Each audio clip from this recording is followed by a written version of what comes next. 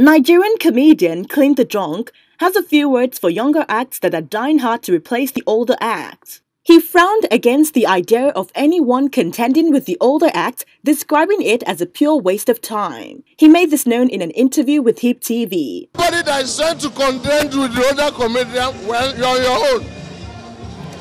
By the time you get to a certain level and some other people try to contend with you, you feel what they are feeling.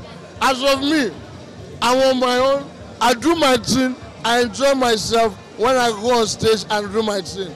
And after I enjoy myself, I go home. There's this new invention. They call it a bed that has foam. I lie down on it. I sleep well.